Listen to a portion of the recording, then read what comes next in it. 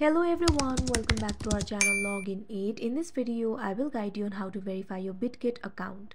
So if you also want to verify your BitGet account, this video is just for you. Follow the simple steps and you'll be able to do it. So first of all, what you have to do is launch open BitGet application. If you do not have this application, you can download it from Play Store and App Store. You can see over here BitGet application has been opened. Make sure you're logged into your account.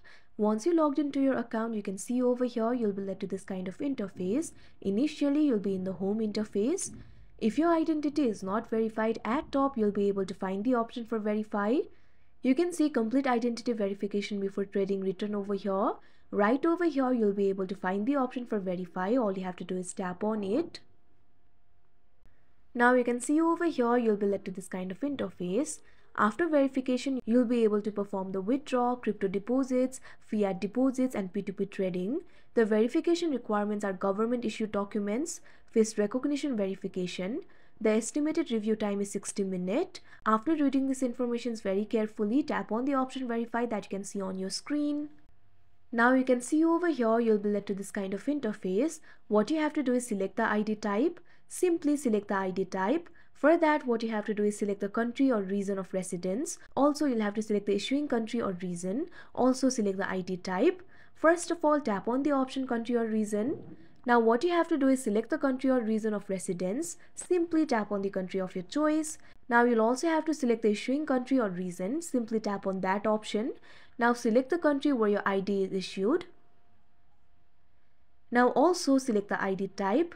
Tap on this option. Now you'll have to select the ID type. You can see three options over here. ID card, passport, driving license.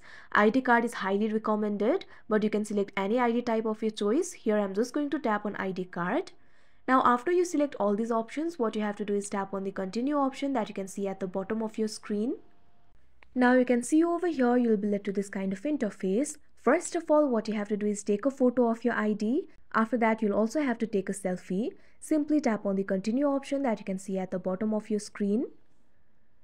Now you can see over here, you'll be led to this kind of interface. What you have to do is take a photo of front ID. Due to privacy reason, I'll be back after taking the photo.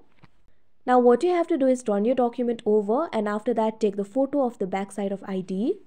Make sure the photo is readable. Now what you have to do is take a selfie. Simply position your face to fit the frame. I'll be back after taking the selfie. Now you can see over here your identity verification is under review. The BitGet team will review your information. The review is expected to be completed within one hour. After that, what you have to do is tap on the confirm option that you can see at the bottom of your screen. Now your identity verification is being reviewed. After your identity is verified, you'll receive an email for it and your identity will be verified. So that is how you verify your BitGet account. I hope you found this video helpful. Thank you for watching. Make sure to like, share and subscribe to our channel.